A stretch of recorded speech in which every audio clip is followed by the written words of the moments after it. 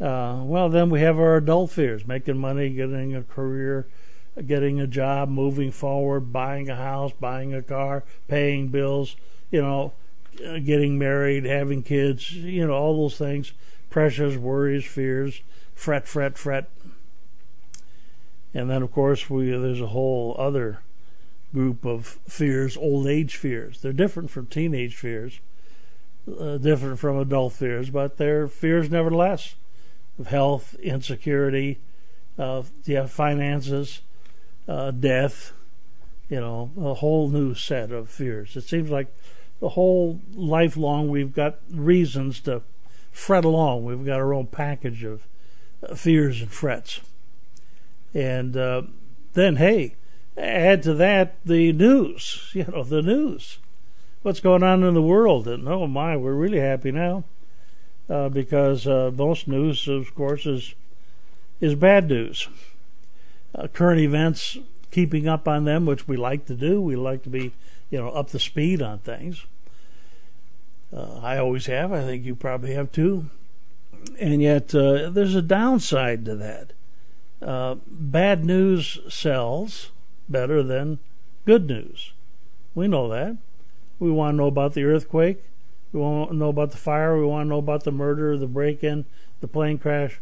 You know, uh, the imprisonment of some politician, whatever it is. We we want to know about that, and so we um, we focus in on that, and uh, that's it's a rather a negative thing. You can become overly concerned about the criminal acts of others, about which you can do what?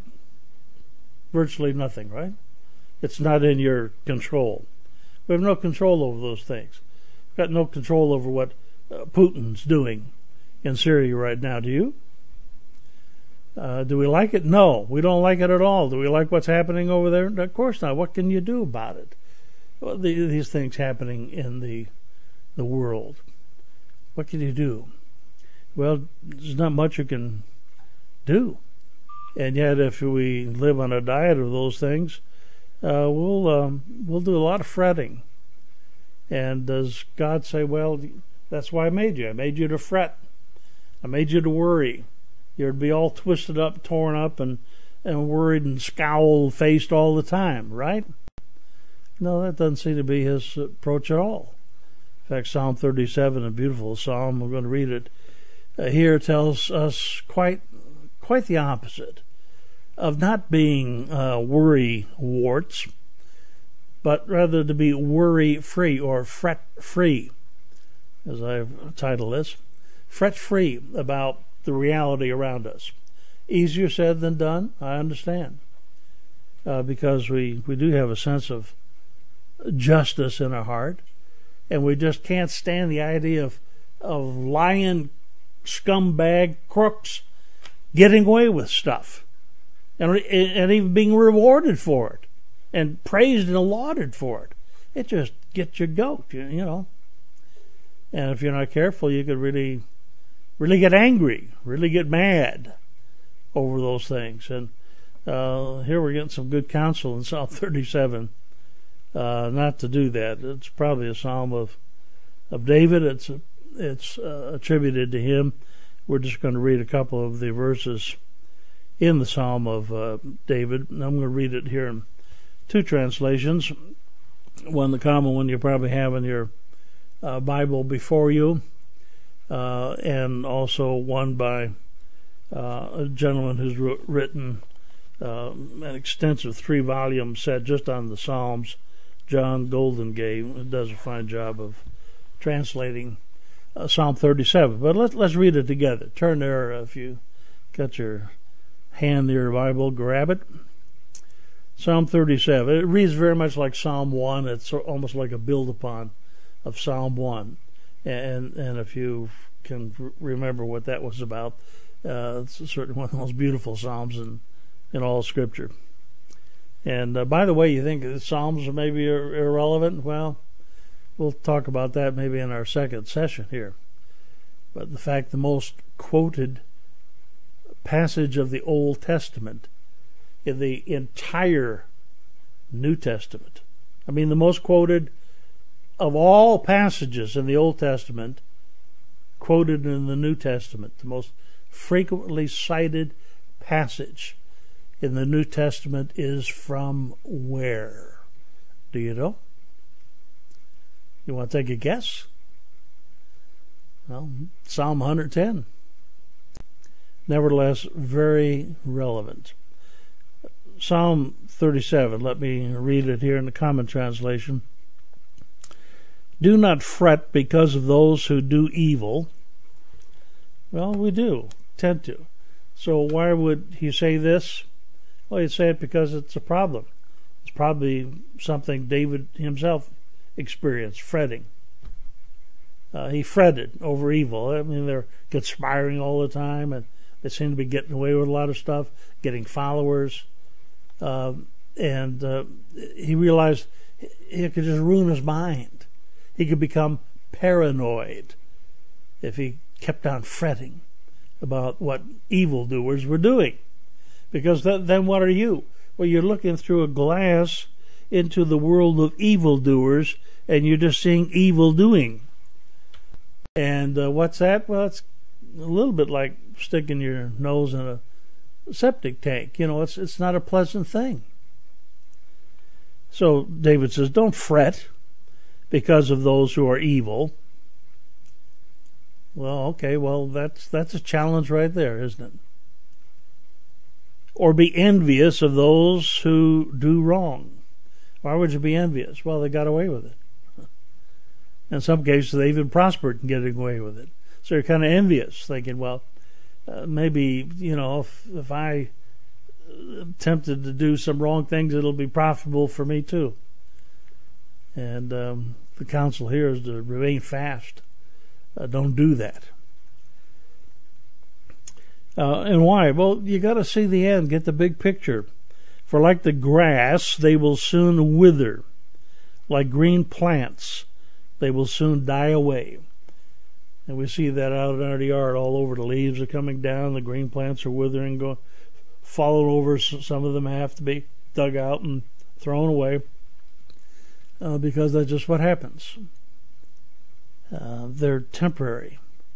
So the point is, what you're seeing about this temporary prosperity of the wicked, for instance, uh, isn't going to last long. So you don't want to get on some bandwagon that's going nowhere other than to destruction. Uh, verse 3 Trust in Yahweh and do good. Now that's a counterpoint, isn't it? Rather than fret about evil and be envious of those who get away with it, uh, trust in, in God. In what respect? Well, virtually in, in all respects. How you should live your life now and what the future is going to be because of how you live your life now. Uh, and do good. So that's pretty positive, isn't it? Value your, your life in doing good rather than keeping track of evil. Now, we don't want to be, you know, um, panacea like. Uh, we don't want to be uh, Pollyannish, thinking, well, you know, everything's just just just fine. Just think good. Uh, no, there's evil out there, so we we want to kind of be aware of it. Uh, the New Testament writer said, "Don't be ignorant of the devil and his cunning." So, in other words, if you're going out where there are going to be wild lions and things about, you have to know a little bit about how they operate in order to protect yourself and what their habits are. Um, so, yeah, we're we're aware of it, but we don't want to become experts in that.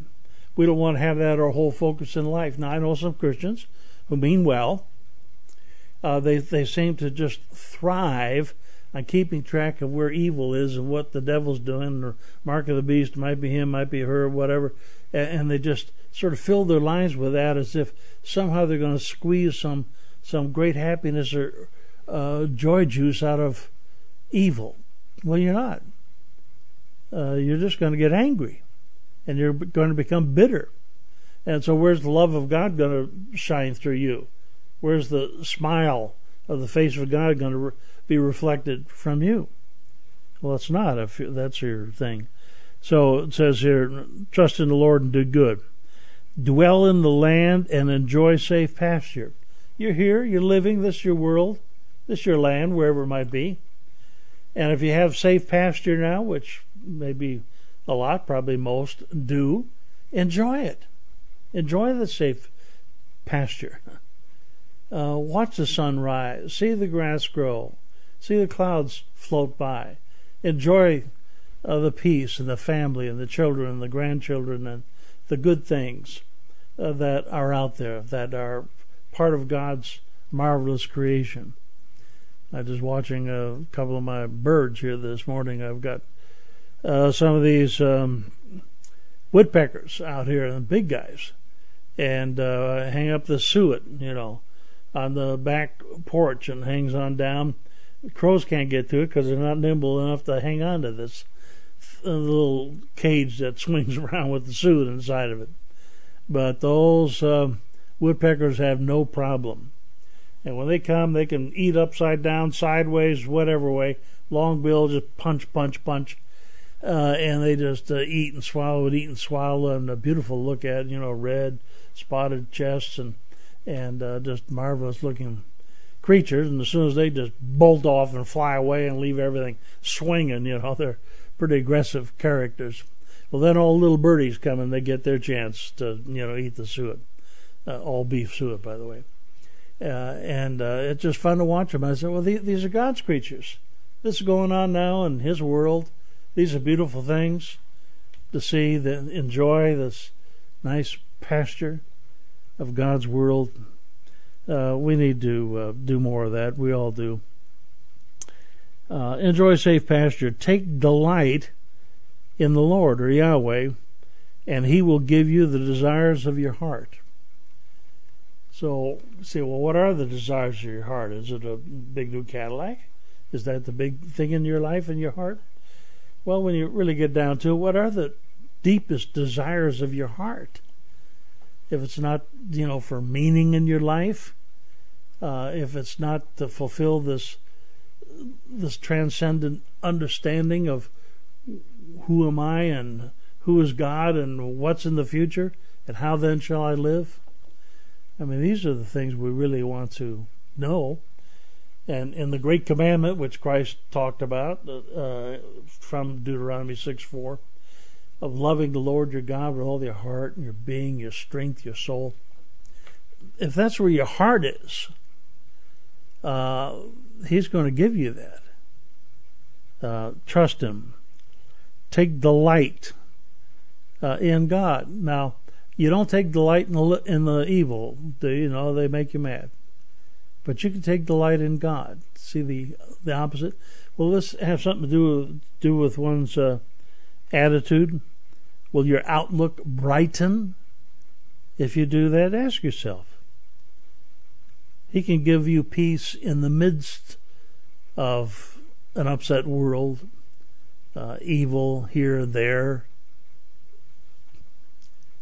Commit your way to the Lord and trust Him. And He will do this He will make your righteous reward shine like the dawn, your vindication like the noonday sun. Whatever you've lost or whatever else, your vindication, like with Jesus, what was his vindication? Oh, being raised from the dead, raised from this earth to the presence of his Holy Father in heaven and glorified with amazing uh, brightness and glory and honor and power and, and eternal life. Uh, that's that's going to be your vindication as well. And he talks about a righteous reward. Why? Well, it's because you've been doing good. You've been following God. And then verse 7 Be still before Yahweh and wait patiently for him. Now this is this is a not so easy, is it? Um, my little grandson Nathan, I'm always teasing him. I said, "Patience. Do you know what the word patience means?" Because he wants everything now.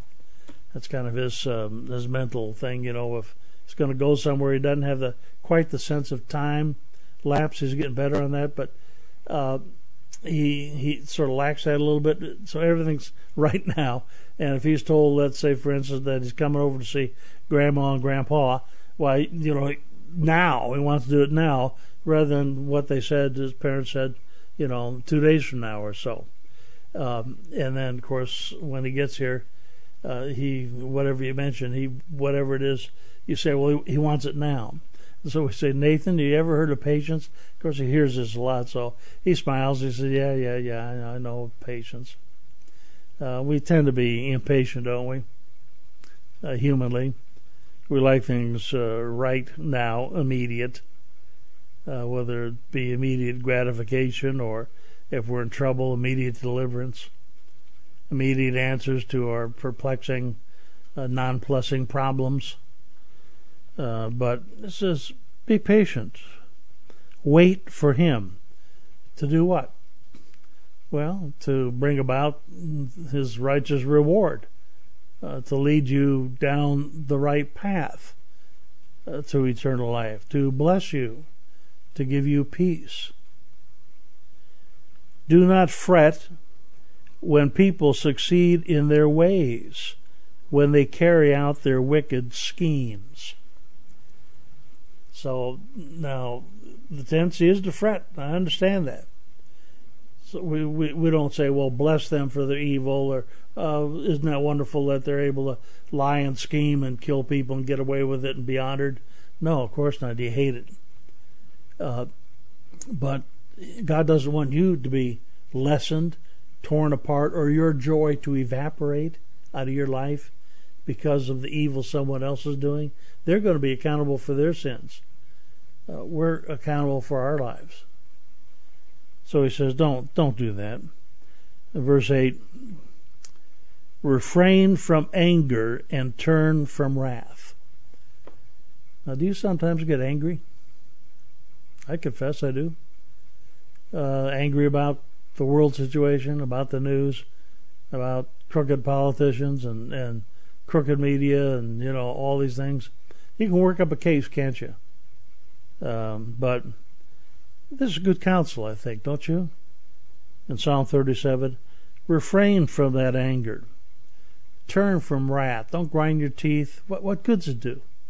All it does is upset you. He goes on, do not fret. It only leads to evil. So if you get caught up in this anger, bitterness, and fretting and everything else, you're going to find yourself walking down the wrong path. Good counsel. For those who are evil will be destroyed, but those who hope in the Lord will inherit the land. Uh, and of course, that has greater meaning than just territory right now, but it, of course, is the whole earth is going to be uh, our inheritance.